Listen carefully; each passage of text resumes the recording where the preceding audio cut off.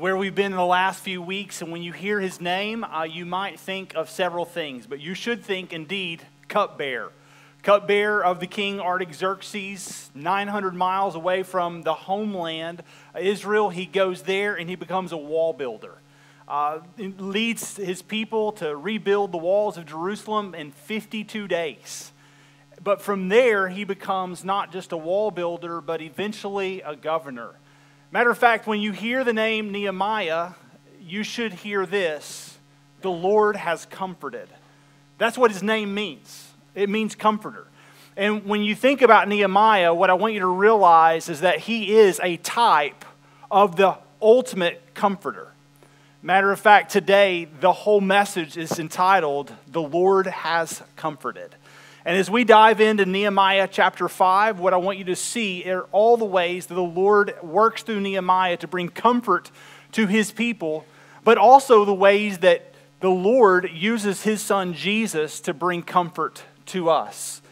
And so today, if you have your Bibles, I want you to just turn with me to Nehemiah chapter 5. If you don't have a Bible, we would love to bless you with one today before you leave our campus. Uh, we would love for you to go by Connection uh, Point, which is out these double doors to my, my right, your left, and uh, they would love to hook you up with a Bible so that you have to read on a daily basis and uh, where you can grow in your relationship to Christ and abide in His Word every day. We would love for you to have a part in that. Now, here's the deal. The things that we've learned so far about Nehemiah is that he says, Hey, let us rise up and build. And the people had mind to do that. They worked. But here's the deal when you uh, say, hey, let us rise up, we know that there's also an enemy who says, let me rise up. And so he has been uh, facing opposition all this time. Uh, and here's what I would just say is that you never, you never get to the, to the point where you receive a crown until you've actually bore the cross. And that's true for Nehemiah. In order for you to, to hear those words, well done, thy good and faithful servant, it is going to require you and I to give ourselves up in many ways, to be sacrificial, to experience oppression in some ways, because that's what the biblical mandate is in Scripture. But when you get to the point where we are in Nehemiah chapter 5, he has faced opposition. The people had mind to work. They have been praying the whole time that God would do amazing things uh, and help them in their opposition, and they just kept going back to the work. But what's interesting is, is that they have had opposition from without but they also, you see, have opposition within. And in Nehemiah chapter 5, you're going to see some of the oppression, opposition that seems to happen before the 52 days is completed of them building the wall. It's as if they have to hit pause and address a couple of issues within their own midst. In some ways, Nehemiah is going to have a family meeting with his people. In Nehemiah chapter 5, you see what's happening. It says this in verse 1 Now there arose a great outcry of the people and of their wives against their Jewish brothers. So there's an outcry. Uh, when I hear the words outcry, I, am almost reminded in a lot of ways in Exodus when the people were enslaved in Israel, uh, the Israelites were enslaved in Egypt, and you can remember God heard their cries. In some ways, that's what the people were doing. They are outcrying and they are, in some ways, grumbling and complaining about what is happening to them. And Nehemiah happens to hear this. And then he's going to he's going to show us that there's three groups of people who are in some ways complaining or have something to say as they cry out for help. In verse 2 it says, "There were those who said, with our sons and our daughters we are many. So let us get grain that we may eat and keep alive." In verse 2, he's just showing you that there are those that they can't afford to get grain and wine. Like there's, there's not enough food on their table. And so they are crying out. There's, there's not enough food to feed our children. There's not enough grain that abounds in the land. There's, there's no way for us to get our, our hands on it. And so, in some ways, they say we lack the nourishment that's needed in our family. In verse 3, you see another group. It says, There were also those who said, We are mortgaging our fields, our vineyards, and our houses to get grain because of the famine. So there are others that they're having to give up their possessions in order to put food on the table, and they say, We're running out of resources. So, group one says, We don't have enough food on the table. Group two says, We're having to give up our possessions in order to have the resources, but we're out of resources. We're tapped out. We got nothing else to sell. There's nothing else for us to do in order to get the resources that are needed for us to provide for our family.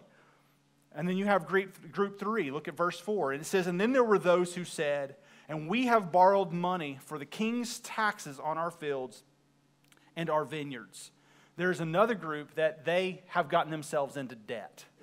And they don't have a way out because they have, they have acquired more debt and more burden in paying back the king's tax than they can afford.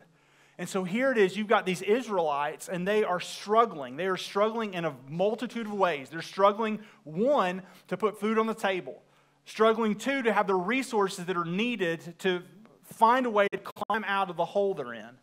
And number three, there's many of them who have taken on burdens and these debts, and they cannot find a way out.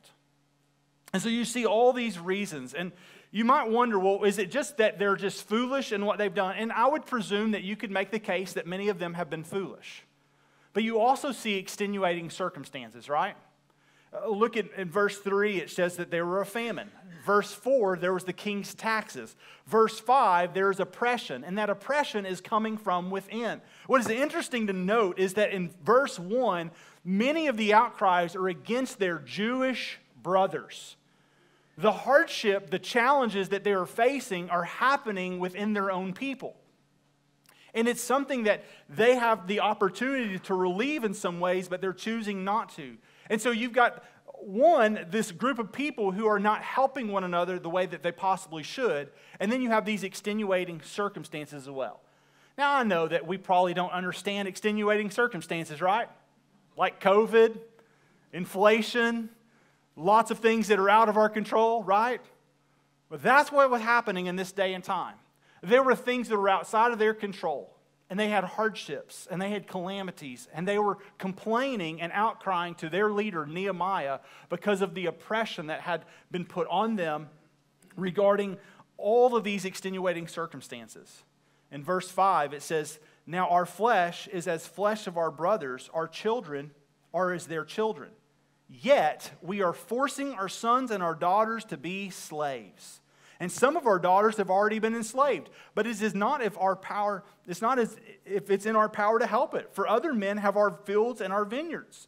What's interesting about this is that the conditions that they are facing, many of them are, are, being, are being forced within. In verse 5, what you need to see is they have the same country, and you would think that the same country has the same goals. Now, have you ever lived in a country where it's difficult to know if you have the same goals? That's what's happening here.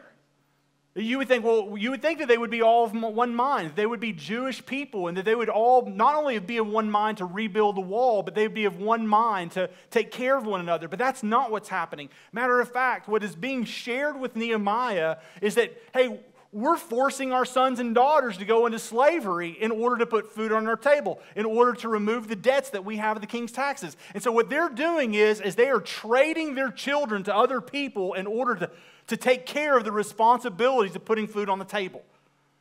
Now, see, we, would not, we might go, well, you know what, I'm going to get a second job, or I'm going to cut back a little bit. But what they're doing is they're actually sharing the burden by giving away their children as slaves. And Nehemiah is here. And if you remember who Nehemiah is, he is the one who was the cupbearer who became the wall builder who now is becoming the governor.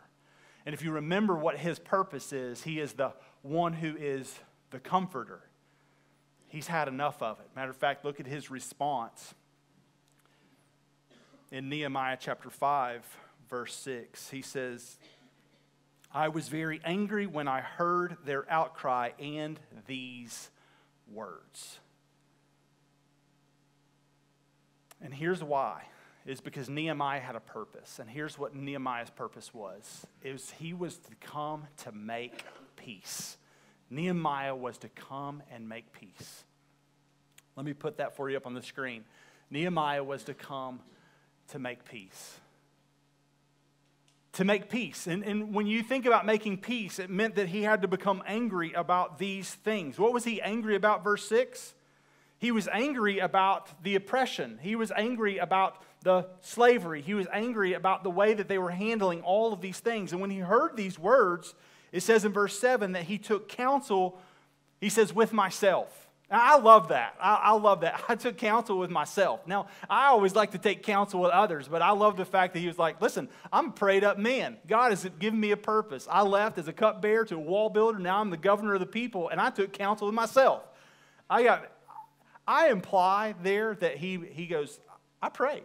I think it's another opportunity where you see he seeks after his God to know how to help oppressed people. And then he says this, verse 7 and then I brought charges against the nobles and the officials. So after he takes counsel, he goes, Listen, I've come for a purpose, and my purpose is to bring peace in the midst of all this chaos, to do something about the challenges that we have. Now, here's what's interesting. When I say he came to make peace, I think it's very interesting to note that the word peace in the Old Testament is the word shalom. Now, you and I think shalom is a greeting. Like it's just something that Jewish people say when they're greeting one another. Hey, shalom. And it's, it, it's as if you're saying hello, peace. But what's important to know is that that word peace there, shalom, does not mean merely a greeting. It also does not mean it's an absence of conflict. Because what we think is that there's peace in our family when there's no fighting. That's not the, that's not the case. The word peace actually means to make complete. It's the idea of restoration. Matter of fact, listen to me, lean in with me. The idea of shalom is when you have a wall that's broken down and piece by piece it's put back together. When the wall is put back together, there is peace. It's the idea of completeness. And so when a Jewish person says shalom and they mean peace, it literally means we're complete. We have all we need. Peace to you, shalom. It means that we are restored. And so when Nehemiah comes to make peace, he is saying, I am a wall builder. And not only am I a wall builder, but I'm coming as a governor to restore order and completeness. Now, listen, Israel's problem was not merely that they had broken down walls. Israel's problem was they also had conflict and war within. They weren't taking care of people. They weren't taking care of the ones that they were called to, and they knew better because even the Mosaic law very clearly, very clearly stated that they were not to treat one another the way they were. And so, in many ways, they weren't a complete people. They, they weren't honoring God and His, his law, he, they, they weren't honoring one another, and there was chaos in the land. And so, not only is He helping rebuild the wall, He's also helping establish a new way of living. And so this is what he says to those that he takes counsel with and that he takes up these challenges with. In verse 7, the latter part of it, he says, And then I said to them, He says, You are exacting interest, each from his brother. And I had a great assembly against them. And then I said to them, We, as far as we are able, have have bought back our Jewish brothers who have been sold to the nations. But even you sell your brothers that they may be sold to us. Now, what Nehemiah is implying is he goes, There's been a point where we've already gone around and we've already bought back some of our brother's property. Now, we can just imply that, he is our, that they have been doing that over the course of time. They were buying it from some Persian uh, people, and perhaps they were paying back, and whatever they've done, they've already bought back some Jewish people. And what he's saying is not only are we going around we're buying back possessions and land and we're getting children back and we're getting animals back and we're getting land and possessions back, but he goes, then we get it back only for you to take it. He goes, that's craziness. We're spending money to get things back for our people only for you to take it from your own people. He goes, that's not making peace. That's not the shalom peace of God that we know. That's not who we are. And so he says, Look, we're buying back only for it to be sold to you. Isn't that convenient? And then listen what it says in the latter part of verse 8. I love this. They were silent and they could not find a word to say. You ever have a, uh, an argument with someone and you kind of got them and they're in the corner and, and they really have nothing to say? And you know why they have nothing to say? Is because they know they're wrong. Now, I would say that that happens to me occasionally. And I would say it's probably with my wife, where she's got me. I'm like, I know, I'm an idiot, and I, I'm wrong. It happens, right? Any of it ever happened to you? That's the first time we get an amen today. Yeah, that's it. Amen. I agree, brother. Yes. That, that's what he, he's got them. And they know it. They know that what they've done is wrong. It breaks God's Mosaic law, it breaks the heart of God as people of peace. And it's not a representation of what Israel was to be to the nations. And they knew it, although they had not known what it looked like to be Israel in all the days they were together. But here it is the one who the Lord sent as a comforter, Nehemiah, was there to make things right. And here's why because not only did he come to bring peace, he also came to end oppression. He came to end oppression. He came to fix a lot of the brokenness that was happening in their society. Matter of fact, if you look at verse 9, he said, So I said, the thing that you are doing is not good. Ought you not to walk in the fear of our God to prevent the taunts of the nations, of the nations, our enemies? Moreover, I and my brothers and my servants are lending them money and grain. Let us abandon this exacting of interest. Return to them this very day their fields, their vineyards, their olive orchards, their houses, the percentage of the money, grain, wine, and oil that you have been exacting from them. In essence, he says, Listen, today it ends. Whatever they've been paying you, they're not going to pay you anymore. Whatever fields you have of theirs, you're going to return it. This oppression is ending. We did not go and buy back from the nations, our people, merely for you to take advantage of them. And so, whatever you're getting of them, you need to go ahead and transfer it from your banking account back to theirs. Because this is over. This oppression, this, this way of thinking is being done, it's done with. And so he just encourages them to return. Verse 12 says, Then they said, We will restore these things and require nothing from them. We will do as you say. Now, I don't know about you, but this man must have been an incredible leader. To get a group of people in a nation who has been ex- exacting interest on others and taking advantage of others, to get them to do as they, they said they would do is a really encouraging thing for me. Because as leaders, and you know, whether it be in your business or whether it be in the place that you lead, getting people to do what they say they'll do can be a challenge, right? But nonetheless, they agree. We will do as you say. And then Nehemiah says, verse 12, the latter part of it, he says, And I called the priests, and I made them swear to do as they had promised. I also shook out the fold of my garment, and I said, So may God shake out every man from his house and from his labor who does not keep this promise. So may he be shaken out and emptied. And the assembly said, Amen. And they praised the Lord, and they did as they promised. So as he shakes out his garment, he goes, May it be to you as I have done to my garment. If you don't keep your word, may the Lord take you and may he shake you out. And may he expose you for who you are and what you've done before the nation. And yet they moved to agree to do what they said. And here's why because Nehemiah didn't merely come to make peace and in oppression, Nehemiah also came to rule judiciously. He came to rule with order, with with fairness. He came to do what's right. Matter of fact, if you continue on in verse 14, he says, Moreover, from the time that I was appointed to be their governor in the land of Judah, from the 20th year to the 32nd year of Artaxerxes the king, that's 12 years, neither I nor my brothers ate the food allowance of the governor.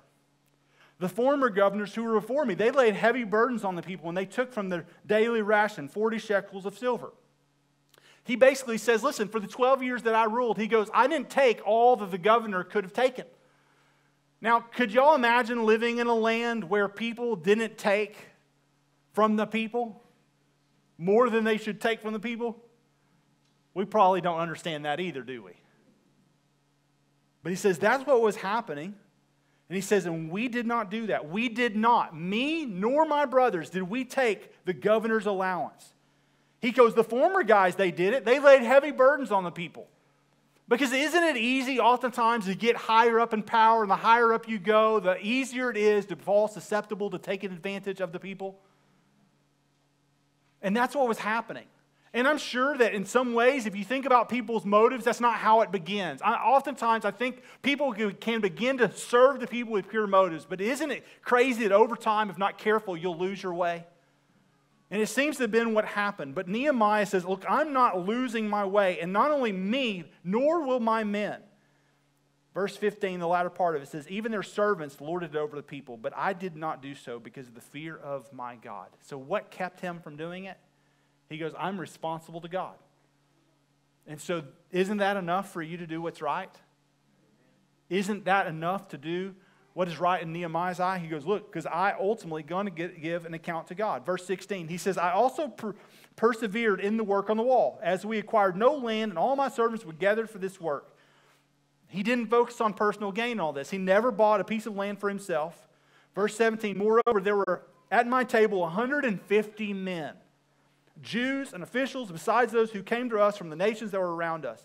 Now, what was prepared at my expense for each day was one ox and six choice sheep and birds, and every 10 days all kinds of wine in abundance. Yet for all this, I did not demand the food allowance of the governor because the service was too heavy on the people. Therefore, look at verse 19. He said, Remember for my good, O my God, all that I have done for this people. He goes, I could have demanded more, but I didn't. Do you know why he didn't demand more? Because his name meant the Lord is comforted. Nehemiah couldn't come and make peace.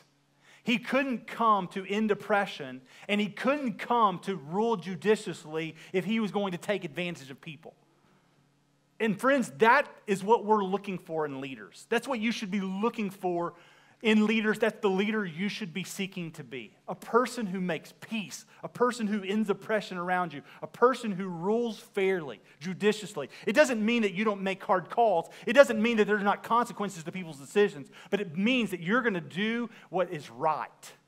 You're going to do what's fair, and you're going to be a person who is known to be a person of integrity. That's who Nehemiah was. And here's why. Do you know why Nehemiah was this? Not merely because he was a wall builder, not merely because he was the king's cupbearer, not merely because he was the one who comes to be a governor. He is the type of Christ.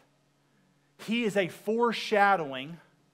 400 plus years before Jesus ever came, he is a foreshadowing of the Christ.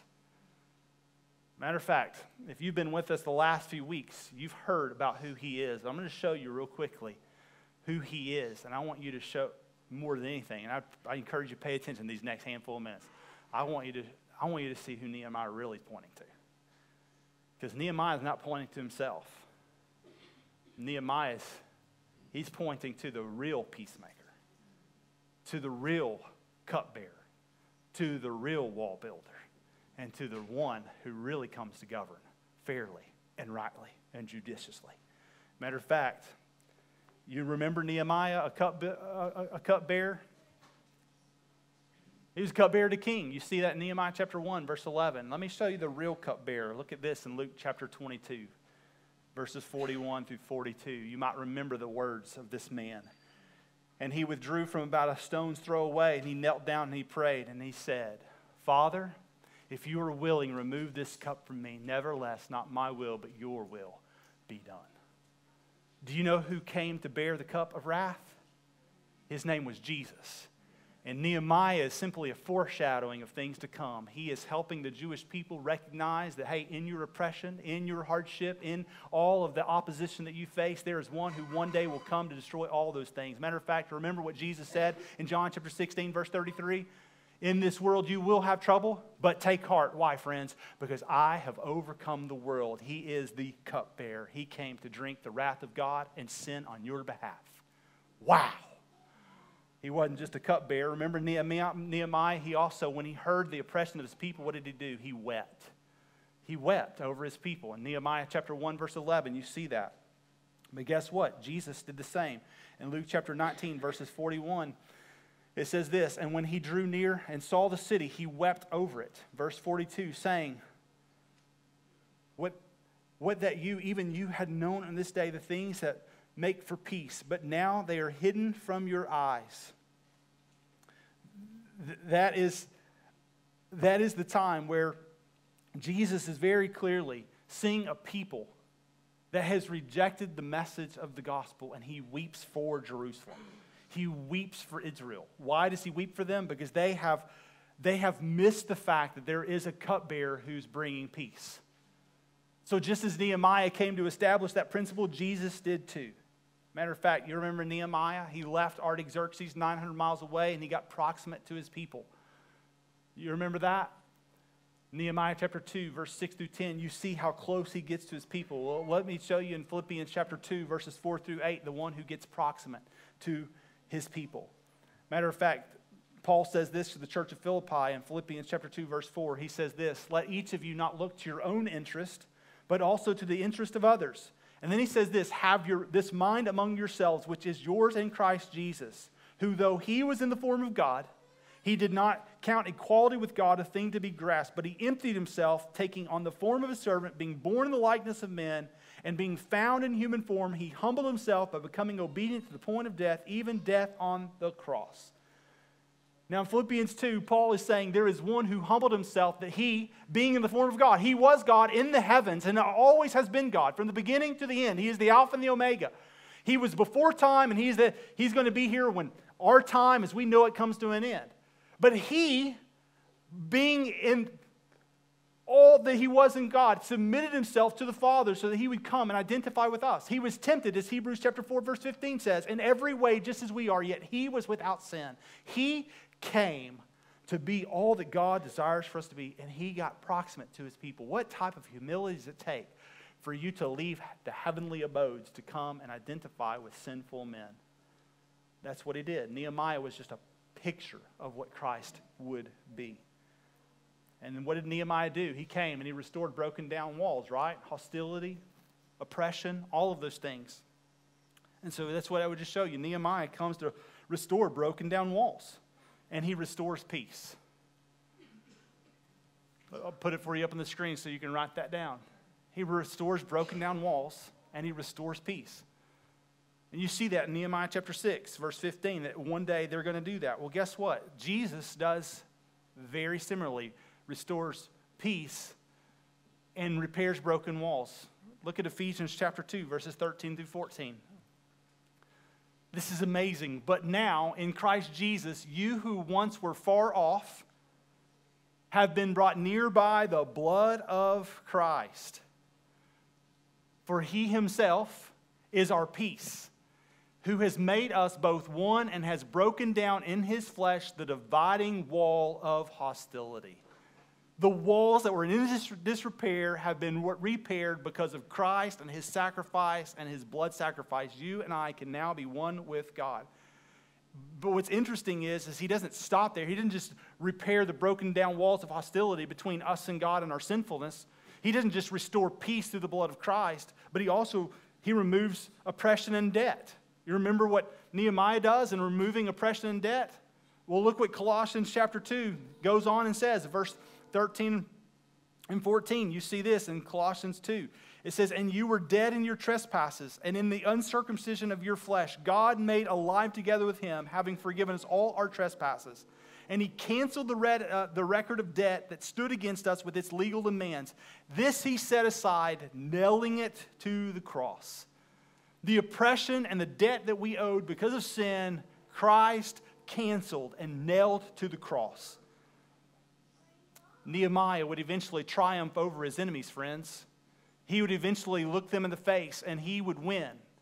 Sanballat and Tobiah would have no words. And here it is. I want you to see, friends, is that Jesus does the same. In Colossians chapter 2, verse 15, after he removes the legal demands of sin, I want you to see what it says. He disarmed the rulers and the authorities, and he put them to open shame by triumphing over them in him.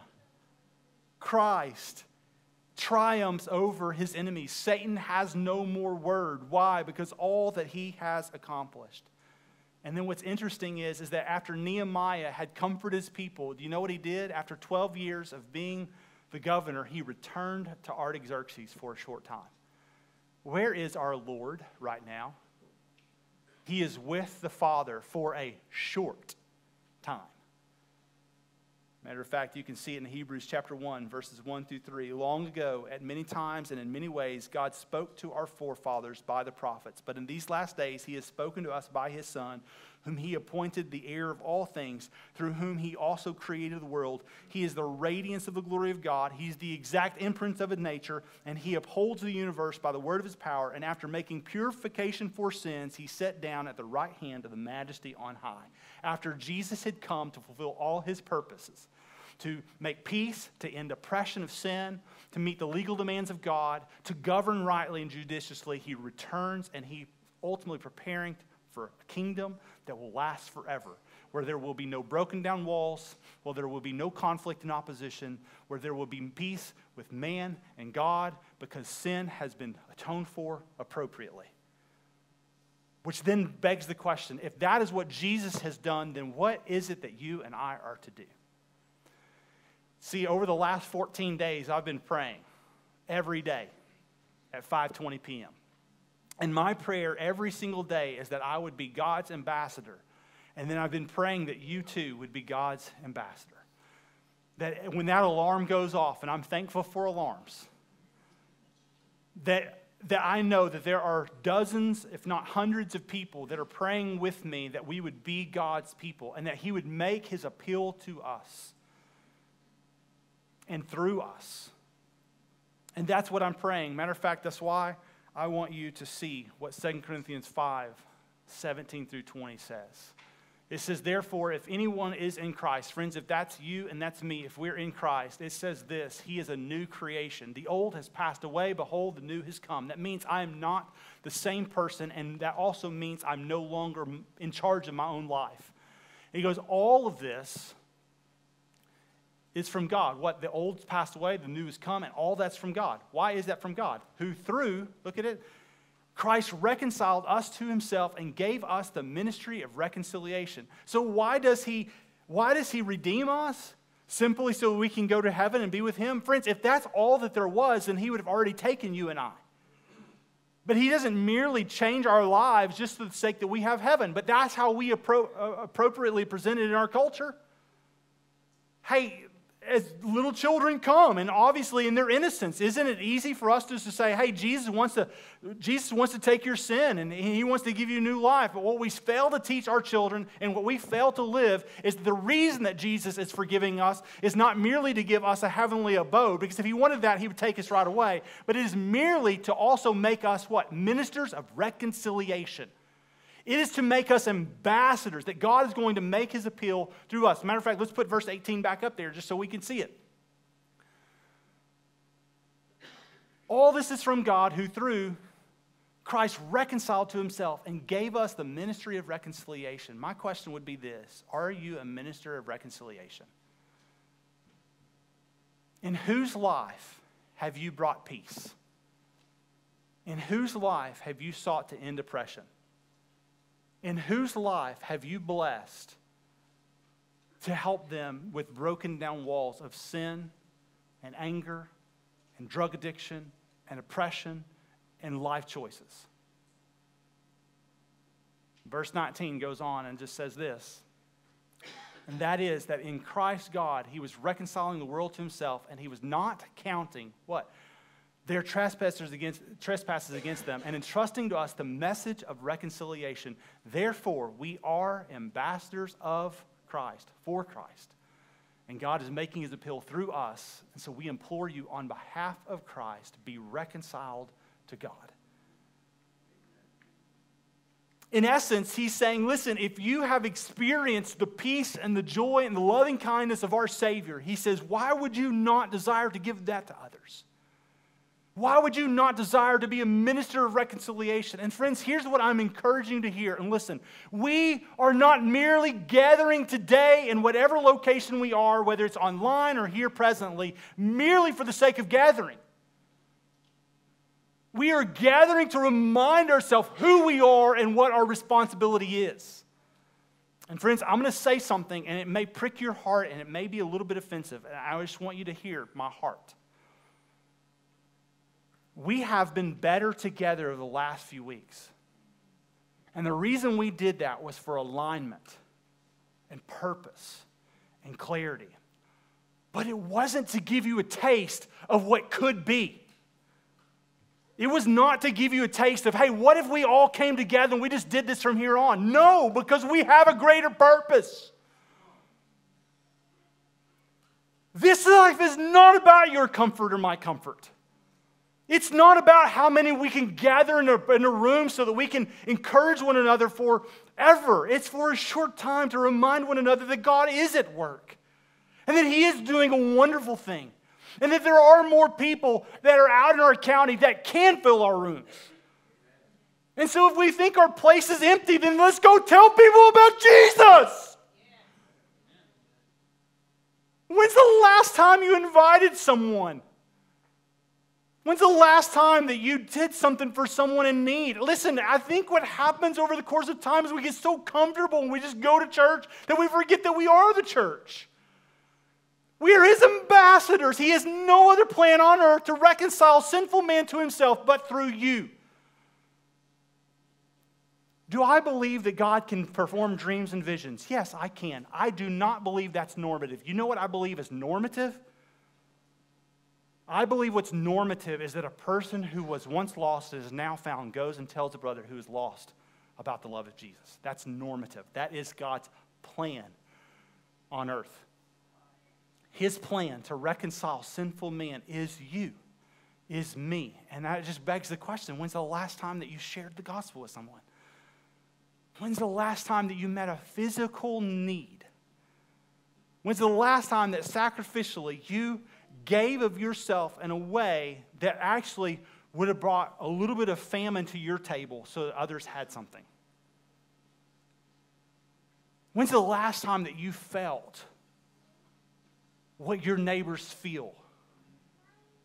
Yes, I'm talking about the crazy neighbors that you want to avoid. When's the last time that you felt what they felt? When's the last time that you shared in their pain? When's the last time that you did something to, in some ways, make a difference for the cause of Christ as an ambassador? See, Nehemiah's name was The Lord Has Comforted. And friends, I would tell you that if there was a name that the Lord would wish to give you, it would be that a people that the Lord uses to bring comfort, to bring hope. And friends, I just want you to hear more than anything. Listen, I, am I want to be a church that makes a radical difference in our county. If not careful, I can lose sight of what that looks like in my life if not careful, I, I don't become a comforter, I become the comforted. Anybody guilty of that? But listen, I need you to remind me from time to time what it is that our goal is. But I also need to remind you that if, hey, if we like full rooms where people sing, then we have to invite people to be a part of what God has for them. And we have to remember that the reason we have two locations is because there's two communities in need. And we need to know that if God ever desires for us to do more, it's just because there's a greater need. But one of the things I don't want to do is be a comforted people. I pray that the Lord would put ever opposition in our path as much as possible if that's what causes growth among us. And we have faced opposition. We've had it from without and we've had it from within. We have had difficult times. The last 12 years of our journey has not always been easy. But what the, I will tell you is this is the Lord has called us to continue to be faithful ambassadors for his cause. And I pray that you'll join me in that. Now, to help you kind of get going and what it looks like to bless your neighbors and to be a part of your city, I'm going to I'm going to motivate you a bit, okay? Lord willing, you got an envelope when you came in. If you got one, go ahead and grab it. In just a few moments, we're going to open these envelopes together. Before we do, I'm going to tell you a little bit about it. This envelope, which says better together on it, is just a reminder to you that as you open it, that we are truly better together, that it takes all of us. Now, I want you to hear something real quickly. What you're about to open is, is a monetary value that every kindergartner and up will receive today. And the, the, it can range from our younger levels, 5 to 10, 15, 20 bucks for them. But in this room, it's going to be anywhere from 20 to 50 to 100 to 200 dollars. And what I'm telling you is, is that we're not giving a small amount of resources away. We are giving a very significant chunk of our resources away.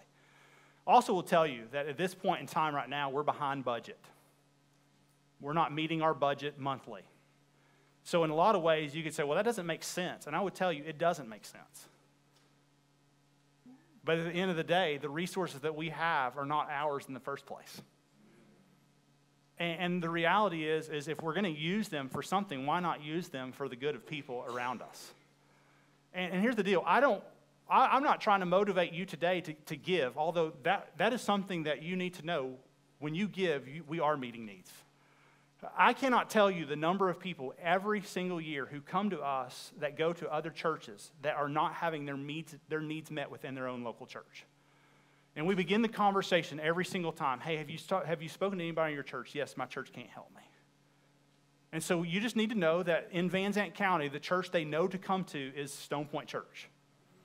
We don't ask a ton of questions, we don't require a whole lot. And the reason why is because I, I think about the value of my time and the money that uh, our staff makes, and I can't, I can't fathom for me um, why we would spend a couple hours interviewing person that you would spend more time paying me to interview them than just to give them what they need to go take care of their resources.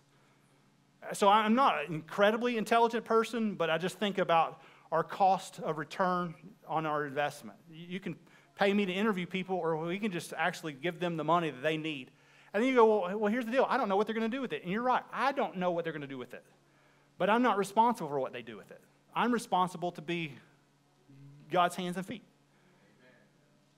Now, the reason I give you that, this, and our staff and our elders are giving you this is because we want you to be a tangible example of God's hands and feet. Now, as you open this, there are a couple of things. There's a few restrictions. One, you cannot give it back to us. It, it, listen, you do what you want, but I'm saying to you, our elders believe firmly that if you put this back in our offering box, you are being disobedient to a holy God who has placed whatever it is in your hands for a reason. So you, if you want to take up opposition with him, then you can. That's up to you. But for us, we're entrusting it to you as a resource, not because it makes sense, but because God in his sovereignty gave you an envelope this morning. And it is for you to use with wisdom but you can't give it back to us. So we should not find any in our offering box. Two, this is to meet a need as you have eyes to see and ears to hear. See, that was what's so incredible about the people that Nehemiah was leading. They had eyes to see and ears to hear. And that's what we're asking of you. Look for a place where a wall is broken down, where there's a breach in the city, and fill the need. Now, there's a multitude of ways you can do that you can have a great conversation with a waiter or waitress even this afternoon. You can get to know their name. Even as you circle up to pray before you eat, you just say, hey, um, Sarah, do you mind if I pray? You got any prayer, prayer needs? Hey, Sarah, can, I, can we pray for you real quick? You want to join us in prayer? She may say no. She may say yes. She may share. She may not. The reality is you got to know her name and you asked if there was a need. Then pray for her. At the very end, something I like to do is just go, hey, Sarah, you, how, how great do you think your service was today? I mean, it was, it was good. Well, hey, do you think you're worth like 20%? Oh, I don't know. I had this conversation just this week with a waitress. Oh, I don't know. I hate to answer those questions. And I would say, hey, I would tell you, I don't think 20, 20% does the justice of how you served us today. Oh, okay. Whew, sweating, you know, bullets. And then you leave something generous. Far more generous than 15 or 18 or 20%. That's a great way. I would say that our kids and students are preparing to go to camp soon. Um, many of them are signing up even as maybe there's a need. Maybe you know there's a family, and, and maybe you know that your contribution would change a kid's life and potentially even their eternity by helping a kid go to student camp or kids camp. Great way to use that resource. Potentially, maybe you're at Walmart and you like to do something random. You see a single mom or what you presume to be a single mom or somebody that's struggling, and you just go, they just, just eyes to see, ears to hear. You're just watching, and you just go, hey, I'm going to buy their groceries, and maybe that helps. Maybe it's a neighbor who has a need, and you know that there's a need to, for a new front door. Potentially, they're behind in rent a little bit. Hey, what a great way to, to bless them. Now, there's a variety of places that you can use this, right? But let me tell you, there's, there may be one more. Maybe you're the person in need. Maybe you're the one who goes, you know what, I, I'm struggling. And maybe you've been praying to God recently to help you with rent or with something that you absolutely need. Listen, from our elders and the generous people of Stonepoint Church, we would say, keep it. Keep it.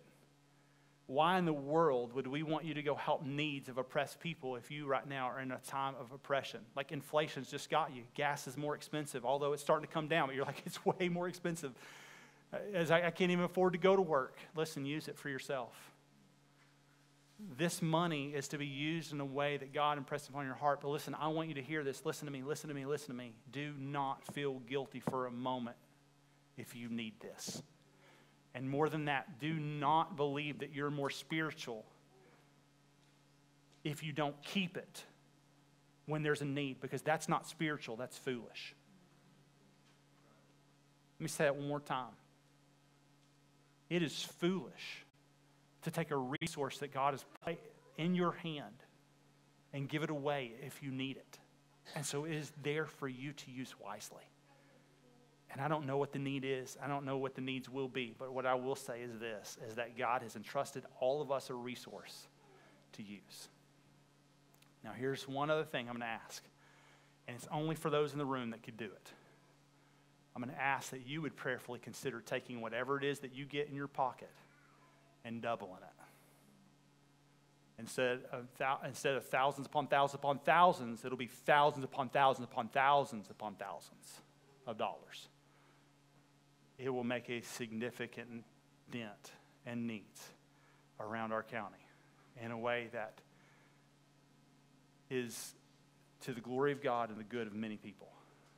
And I pray you'll join me in that. Real quickly, what I would love for you to do is just open that envelope and see what the Lord has entrusted to your care.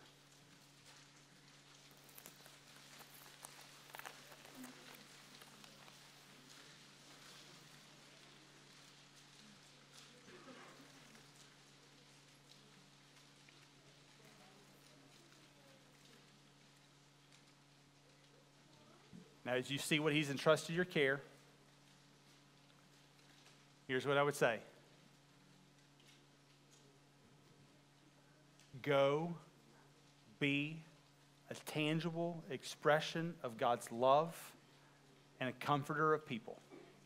And let me pray as we close our time together that God would use all of this as his resource for the glory of God around the world, starting right here in our own home. And so may God use this. Let's pray together. Father, you know what every single person has received. You know what others in our county need. And Lord, I pray in this moment that you would give us eyes to see, ears to hear, and wisdom to know where to use these resources.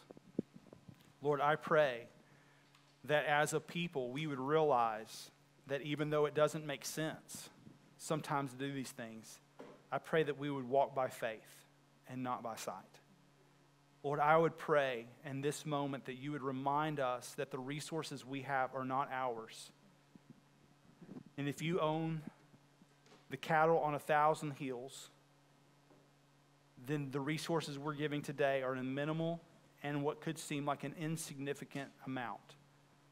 But Lord, we trust that just as you can multiply fishes and loaves, you can take and use these resources exponentially more than we could ask or imagine. And we pray that you would do that.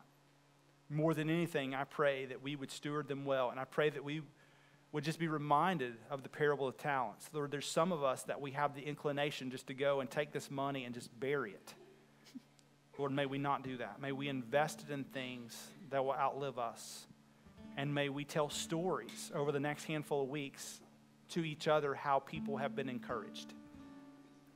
Father, we love you and we praise you and we thank you for your glory and our good and for the generosity that you displayed through your Son, Jesus Christ, and the example that you gave us through Nehemiah. May we be like Nehemiah. May we be like the Christ. May we be your ambassadors, and may you make your appeal to the world through us. In Jesus' name we pray. Amen.